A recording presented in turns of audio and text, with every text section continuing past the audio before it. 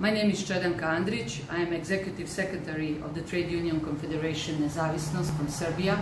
Last year, I was a member of Serbian Tripart delegation on the International Labour Conference in Geneva when we voted yes for the adoption of the convention, ILO Convention 190, the very important document for which we advocate before that with the support of our partners and with the support of the Solidarity Center through two regional workshops that we participated.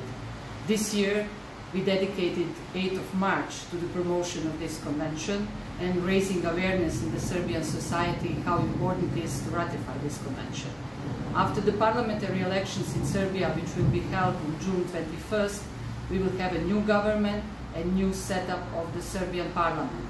So we hope that immediately after that, with the regular sessions of the parliament and regular activities of the government through social dialogue, we will advocate efficiently that Serbia in a very soon period of time ratify this convention and that will become part of our legal system.